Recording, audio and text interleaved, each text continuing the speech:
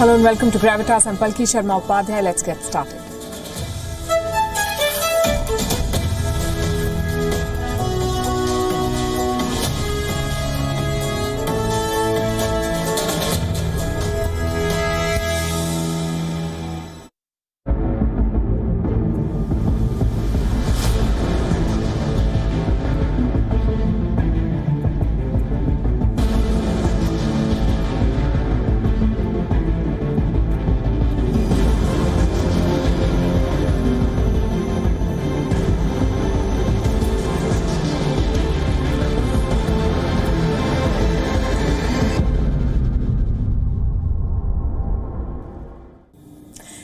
Fuels international conflicts like oil. Numerous historical wars have been driven by this precious resource.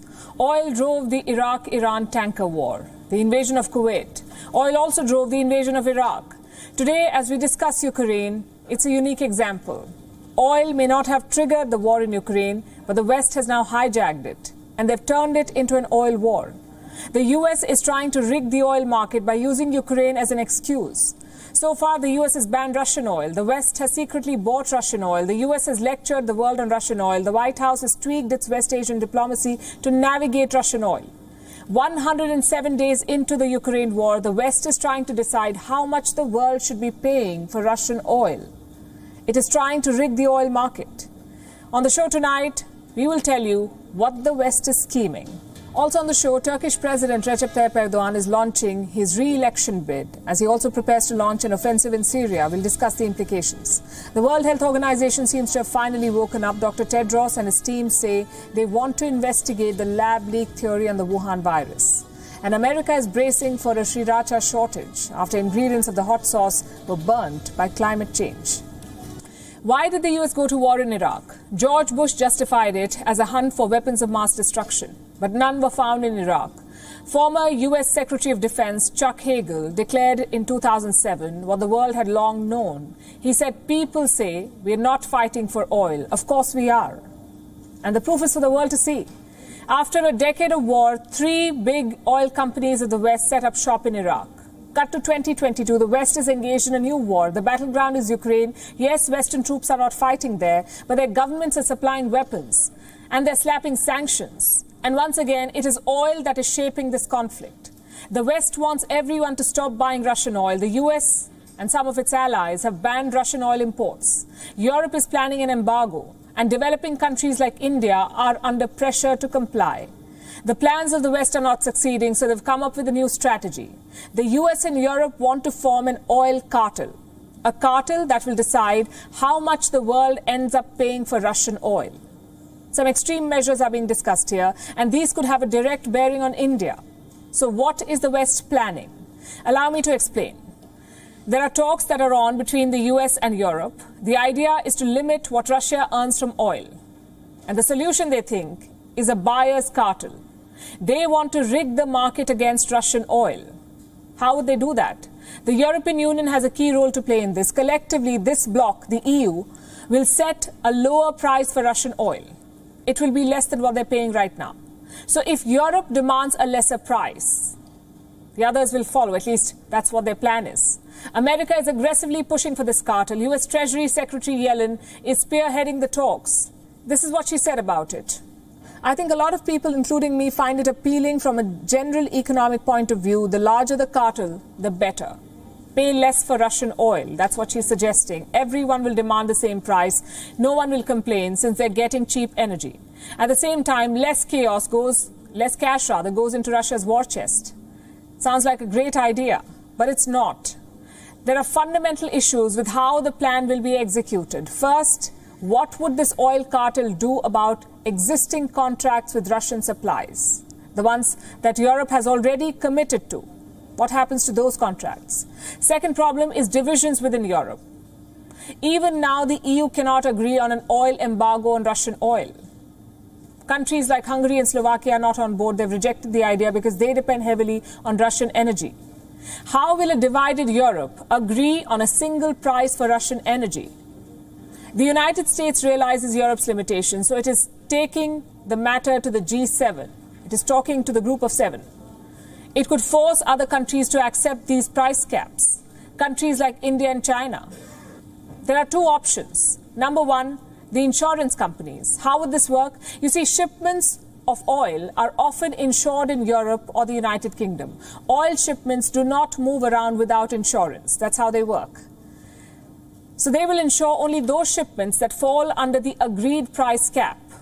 G7 countries are exploring this idea. So any country outside Europe must comply with this price cap.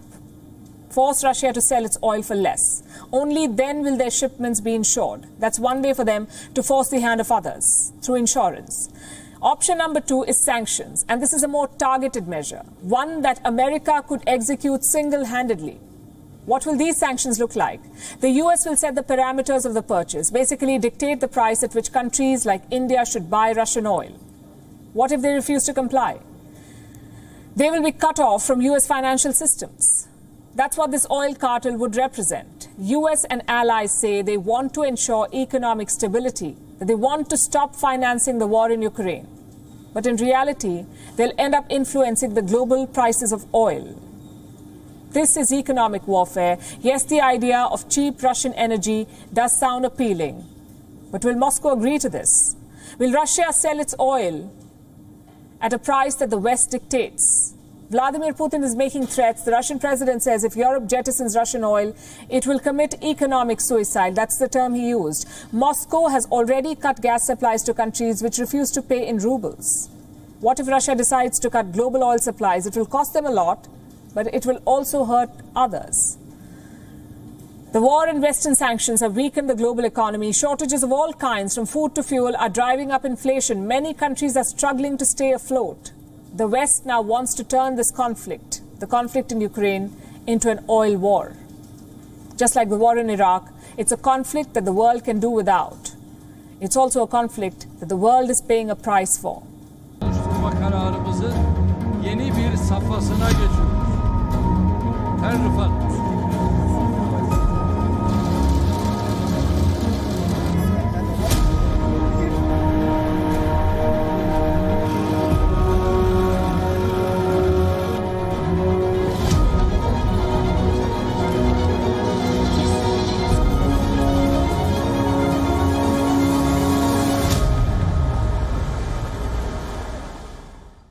What's the best way to win an election?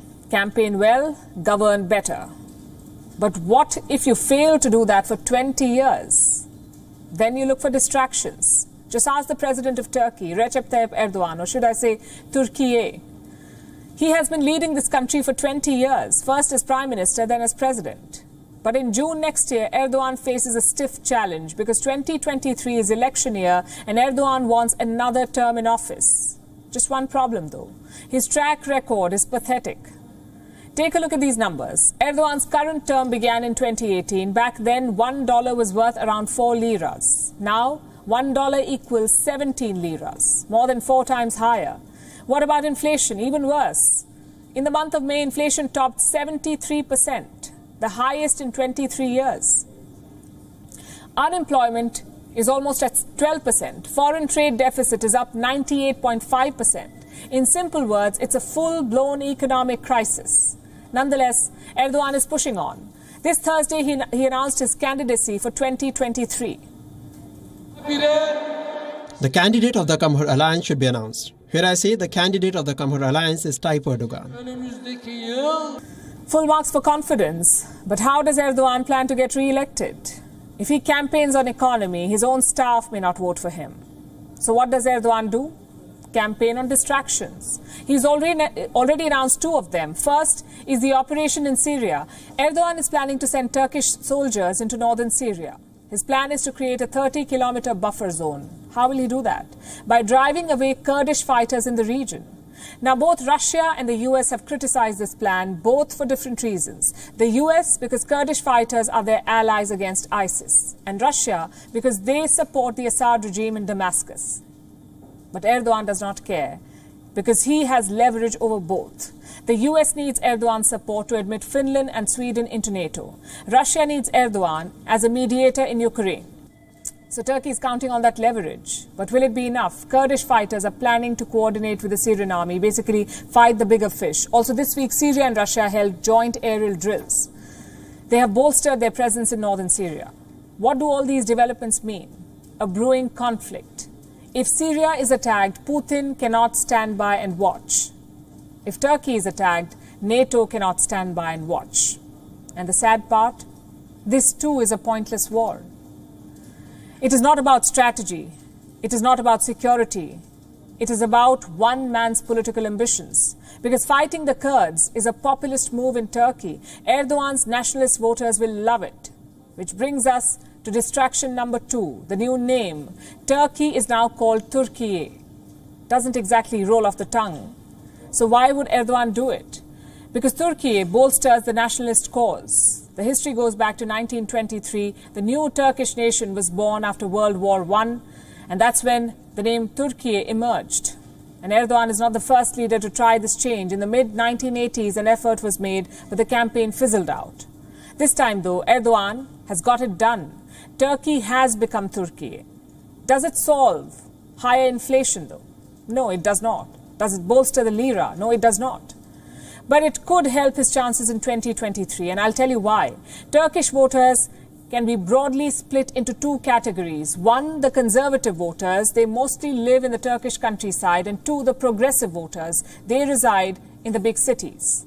Erdogan's vote bank is the first category, the conservative rural voters. I'm talking about farmers, restaurant staff, gas station workers, fishermen. These people are Erdogan's biggest vote bank, and right now they're struggling. Inflation is eating into their savings, and chances are it will get worse because Erdogan does not believe in logic. He defies it. You see, when inflation rises, central banks hike interest rates. They discourage lending. Erdogan is doing the exact opposite. He has forced the Turkish central bank to reduce interest rates, or at least keep them steady. Now, I know what you're thinking. Aren't central banks independent? Well, in most democracies, yes, they are. But in Erdogan's Turkey, no, they're not. The president has fired three central bank governors since 2018. The current one is the fourth. So the message is quite simple. Do what I say or you're fired. The senseless economic policy could hurt him next year, which brings us to his challengers. Who will take on Erdogan in 2023? The opposition alliance is yet to announce their candidate, but three names stand out. Kemal Kılıçdaroğlu. He is the leader of the CHP, the Republican People's Party. His big plus point, he's an economist. Another contender is this man, Ekrem İmamoğlu. He is serving as the mayor of Istanbul it's a very powerful position in Turkey. Erdogan himself was once the mayor of Istanbul. And finally, Mansur Yavaş. He's currently serving as the mayor of Turkey's capital, Ankara. All three have a good chance of winning because Erdogan has failed on all counts. He promised prosperity to the working class, he failed. He promised Islamic world dominance to nationalists, he failed. Which leaves Erdogan with two options. One is distractions, and if that fails, an attack on democracy. That's another worry for Turkey. Erdogan could simply ban opposition parties or disqualify certain candidates. You see, leaders like Erdogan are always dangerous. But do you know when they are most dangerous? When they sense that they are vulnerable. Our next story is from Pakistan. Earlier today, Islamabad unveiled its annual budget, one of the toughest budgets in its history. It comes during a swirling political crisis, a weakening currency, skyrocketing inflation, and shortages of reserves. Given these challenges, the expectation was that this budget would be modest. It would mostly be aimed at restoring economic stability. Turns out that's not the case. Pakistan's priorities remain misplaced. So do most of the budget's allocations. This is despite an IMF reminder to Pakistan to mend its ways. On Thursday, the International Monetary Fund told Pakistan to renegotiate its deals with China, to try bargaining and reducing pending payments related to CPEC, the China Pakistan Economic Corridor. Here's a report. Pakistan has released its annual budget, a budget aimed at restoring economic stability, only that it falls way short of the mark. Inflation is making the common man suffer. Guess what Islamabad has decided to do? Increase the salaries of government employees only. By how much? 15%. What about the average Pakistani citizen? No such perks for them. What they've received are mere promises, like zero load shedding, more scholarship programs, special packages for the poor, and better health programs. Then we have the CPEC, that is the China Pakistan Economic Corridor. Two days back, the IMF had asked Pakistan to renegotiate CPEC deals to try bargaining and reduce outstanding payments. It said that this was necessary for financial stability.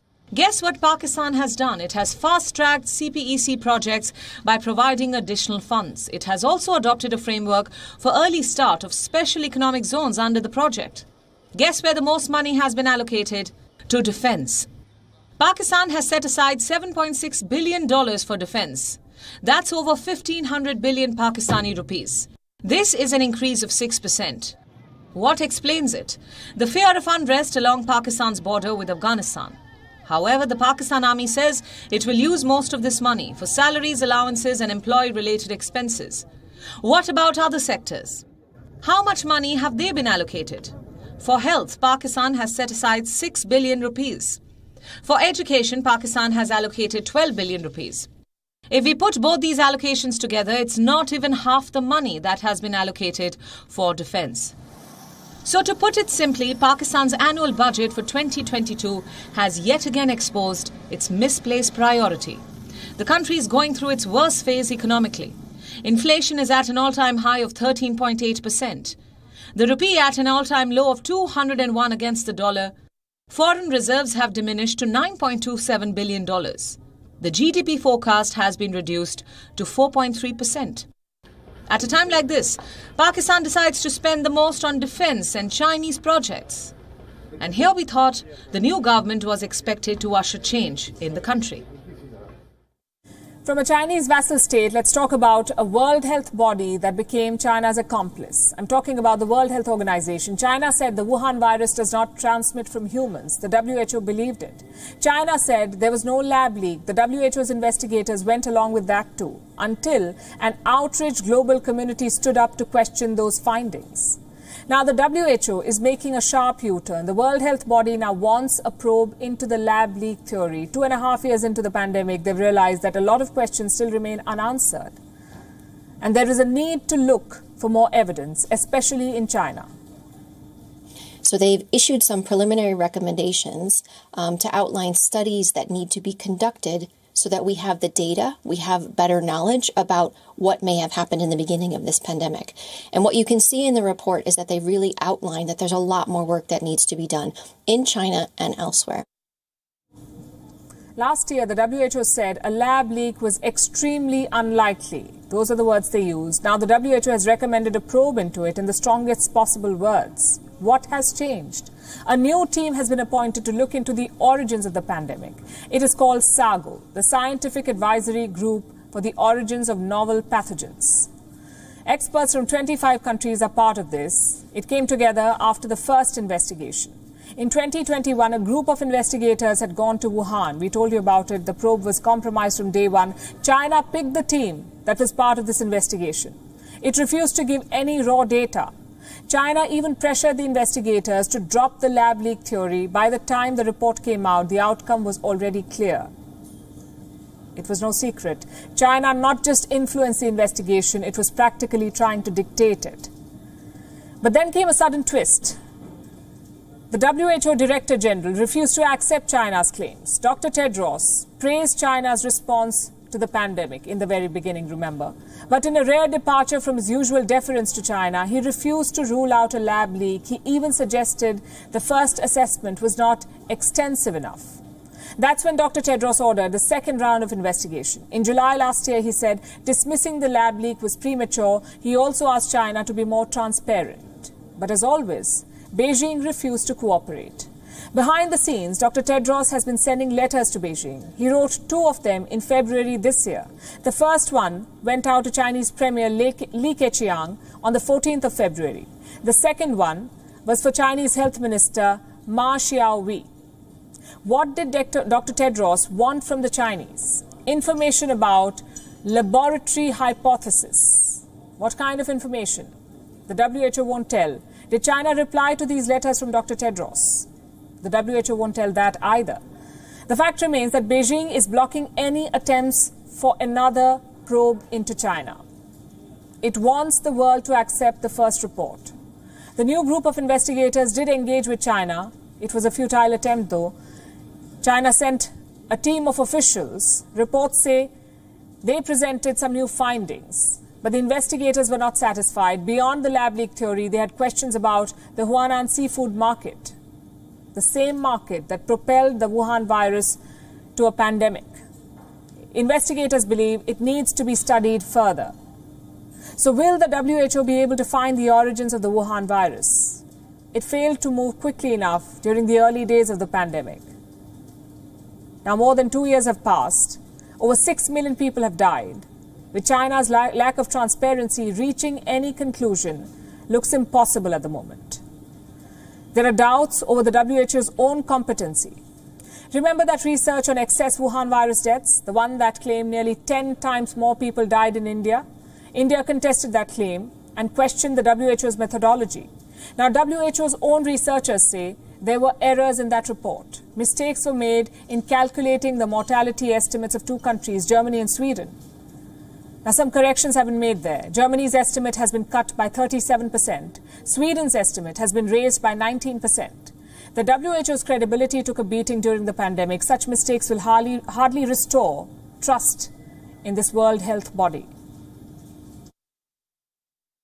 And since we mentioned Sweden, did you know that Sweden once fought a 21 year long war against Russia? It was in the 18th century. The war was orchestrated by Russian Tsar Peter the Great. He captured land from Sweden and built on it what is modern day St. Petersburg. Russian President Vladimir Putin's hometown, St. Petersburg. Putin was recently paying tribute to the Tsar on his 350th birth anniversary. The Russian president drew parallels between himself and Peter the Great. He said, just like the Tsar, Putin is not stealing foreign land, he's taking it back, what's rightfully Russia's. Putin was talking about Ukraine, and he basically seemed to suggest that going forward, Russia should consider calling him Putin the Great.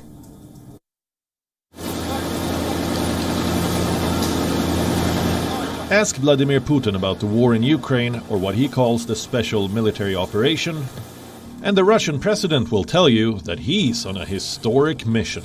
What mission? One meant to reunite the Russian Empire, an empire that was once ruled by Peter the Great. He was Russia's first emperor. He ruled for 43 years. St. Petersburg is named after him.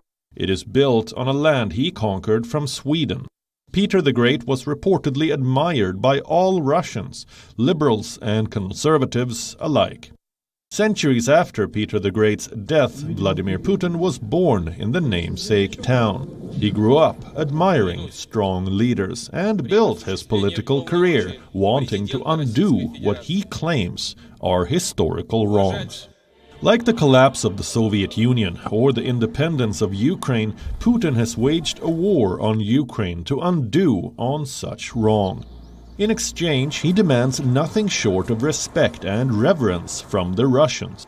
On Peter the Great's 350th birth anniversary, Putin compared himself to the emperor, stopping short of asking Russians to call him Putin the Great. When he founded the new capital, none of the European countries recognized the territory as Russian. They all recognized it as Swedish territory. The Slavs, together with the Finno-Ugric peoples, had always lived there. Moreover, this territory had been under the control of the Russian state. Same going towards the west. Narva and his first expeditions. Where did he go there? He went there to take it back and strengthen it. That's what he was doing. Well, it seems it has also fallen to us to take back and strengthen the territories, and if we take back these basic values as fundamental to our existence, we will prevail in solving the issues we are facing. Well, here's the problem. The Great Northern War ended in Sweden's defeat. It made Russia a leading power in the Baltic Sea, also an important player in European affairs. Peter the Great wanted to bring Russia closer to Europe. In Putin's case, he is neither winning the war nor is he bringing the country closer to Europe. Quite the opposite, in fact. Russians know this too well. I think that the window to Europe is gradually closing. I hope it won't close fully. It's happening because everyone is against our country. They're angry, and it's not our fault that the window is still closing. It would be good if there were a window cut, but also a door to walk through to it from both sides. Russians don't seem convinced that Putin should be called great, but tell this to the Russian president and he will make you see history through his biased lens. One where Ukraine should never have been allowed independence. One where Russia never annexed Crimea. One where Peter the Great should not be remembered for his affinity to Europe, but only for his expansion of Russia. Peter the Great had fought the Northern War for 21 years. It seemed he was fighting with Sweden and seizing territories. He wasn't seizing anything, he was taking them back. Just like Putin is taking Ukraine back. But who's buying his story? We're often told that time heals everything, but that's not always true. Time cannot heal colonial crimes, for instance. The Jallianwala Bagh massacre is still fresh in the hearts of Indians. Congo has not healed from the torture of Belgium's rule. You already know what happened at Jallianwala. Let me tell you about the Congo story. Between 1885 and 1960, 10 million Congolese died. Rather, they were killed by Belgium's policies, be it through forced labor or famines. Belgium orchestrated human rights abuse of the worst kind in Congo and Belgium is not sorry. Like Britain, Belgium too has just regrets to offer for its colonial crimes. Listen to this. On the occasion of my trip to Congo, right here, in front of the Congolese people and those who today are still suffering, I wish to reaffirm my deepest regrets for those past wounds. This is Belgium's King Philippe. He was speaking during his first visit to Congo, and this is King Leopold II. He once ruled Belgium. This was between 1885 and 1908. From the day Leopold II came to power, he made Congo his personal property. Congo was turned into a labor camp. People were forced to grow rubber, and everyone was given a quota to meet. While the harvest made Leopold II richer, back in Congo, people's hands were cut off for not meeting their quota. If a family failed to produce enough natural rubber, the hands of women and children were cut off too. Those who resisted the atrocities had their feet cut off.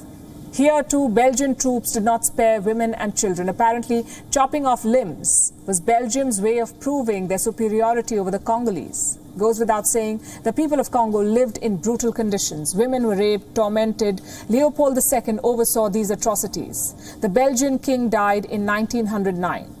A year before his death, Congo was transferred to the Belgian government. From a personal property, Congo became a colony. But its suffering and humiliation continued. Congo finally became independent in 1960, but Belgium did not let go of its colony easily. Belgium's then king delivered an address celebrating Leopold II, even calling him a genius. Congo's independence is the achievement of the work devised by the genius of King Leopold II. Congo is reaching this status on this day, the 30th of June, 1960. When Congo elected its first prime minister, Belgian-backed secessionists assassinated him. In 2002, the Belgian government took partial responsibility for this assassination. Cut to 2022, many in Congo say while they may be able to forgive Belgium for colonizing their country, the, the atrocities cannot be forgiven. Earlier this week, when King Philippe landed in Kinshasa, the people of Congo were expecting an apology, and rightly so. As a Congolese, I can say, Welcome to the Democratic Republic of Congo, Your Majesty. But this time, have the courage to say sorry to the Congolese people. The simple regret that you have expressed is not enough, because since the independent state of Congo, with the hands cut off, it is the Congo that bore the weight of two world wars for the benefit of Belgium. Philippe did not apologize. King Leopold II was the brother of Philippe's great great grandfather, which makes Philippe not just a, a successor, but also family. Let us write this new chapter together without forgetting the past but by assuming it fully in order to transmit to the new generation. Well, that's the thing about colonial criminals. They hate accountability. Be it Britain or Belgium, the mindset is the same. Not apologizing for past crimes is their way of burying uncomfortable history. Do you know Belgium's colonial rule is not even taught properly in their own schools? Apparently, the country does not like to talk about its colonial past. Well, I have bad news for Belgium. People will hold Belgium accountable sooner rather than later. Remember, Leopold II's statue was one of the many symbols of hate that people defaced during the 2020 protests. People are rising up against attempts to whitewash history. Sooner rather than later, both Belgium and Britain will have to apologize for their colonial crimes. If you're a science buff, our next story is for you. NASA has decided to study alien life. It is launching a probe to understand UFO sightings to find out if the sightings are indeed real and settle the debate once and for all. This study will begin later this year. It will last for at least nine months. And it will cost NASA $100,000. Now, this decision has led to a debate. Some are excited that NASA has finally delved into the subject. Others say the space agency is sabotaging its own reputation. Here's a report.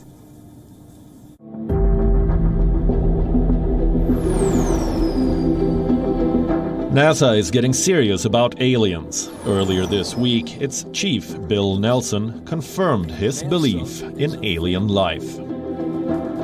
He said he personally believed that extraterrestrial life is out there somewhere. This was on Wednesday. Two days on, NASA has decided to launch a study on UFOs. A study to find if aliens exist and what kind of objects they fly. The intention is noble settle the most vexed debate in science the existence of extraterrestrial life. Here's what the space agency intends to do set up an independent team of space experts, analyze how information is publicly available, find out how much more is needed to study unexplained sightings, and consider how to use this information for future studies. So, when will the study begin? In the fall of 2022. How long will it last? A total of nine months. How much will it cost? At least $100,000. And who's going to lead it? This man, astrophysicist David Spergel, the president of Simons Foundation. Here's what he says the study will be aimed at. Given the positive observations, our first task is simply to gather the most robust set of data that we can, Spergel said. We will be identifying what data from civilians, government, non-profits, companies exists, what else we should try to collect, and how best to analyze it. NASA's decision has evoked all kinds of responses. Some are intrigued about the proposed study. Others are wondering if it's some kind of a joke, whether NASA has fallen for pop culture. The chief of NASA's science mission says he understands the criticism. He says the space agency is aware of the reputational risk involved and has assured the scientific community that NASA is not selling out. And while NASA hunts for aliens, things on Earth are getting worse. Climate change is making our planet uninhabitable. Our rains are erratic, our cyclones are supercharged, and our droughts are biblical. These changes could soon affect your favorite food. It's already happening in the US. Americans are bracing for a sriracha shortage. Some sauce lovers are already stocking up for the looming crisis. Here's more. Hot, red, and fiery, this spicy sauce is a classic American favorite. The sriracha. You can put it in your soup, on eggs, in burgers, and if you are feeling a bit adventurous, in your cocktails. The recipe is pretty straightforward. Chili peppers, some vinegar, garlic, and a dash of salt. Your sriracha sauce is ready. In the US, one company dominates this market. Huy Fong Foods. In America, you don't buy sriracha sauce. You buy Huy Fong sriracha sauce. But in April, the company had an ominous warning. Unfortunately, we cannot confirm that there is an unprecedented shortage of our products. We are still endeavoring to resolve this issue that has been caused by several spiraling events, including unexpected crop failure from the spring chili harvest. No chili, no sriracha. Huy Fong buys most of their chili from California, New Mexico, and Mexico. All three places are struggling with extreme temperatures and drought. The result? Very low chili output. Huy Fong has announced a freeze on new orders until September. They hope by then the weather clears. But try telling that to sauceheads. They are preparing for a Sauceageddon. Take a look at this Twitter user. Their shopping cart is packed with sriracha sauce. We count at least 13 bottles. Such hoarding tactics help nobody, but such is the love for sriracha. People are lining up to stock their favorite hot sauce. Not everybody may get a bottle, which means America will soon need some hot sauce alternatives. But this problem goes beyond just sauce. Climate change is affecting most crops. By 2030, corn output is expected to fall 24%. Wheat could be another victim. Right now, 15% of wheat growing areas are affected by droughts. That could rise to 60% in the coming decades. There's bad news for coffee lovers too. Brazil might soon become too hot to produce coffee. The wild coffee trees of Africa too are wilting. At this rate, your daily cup of coffee could soon be a luxury. From hot sauce to wheat to coffee, climate change is threatening our most basic need food. If this isn't a call for action, nothing is.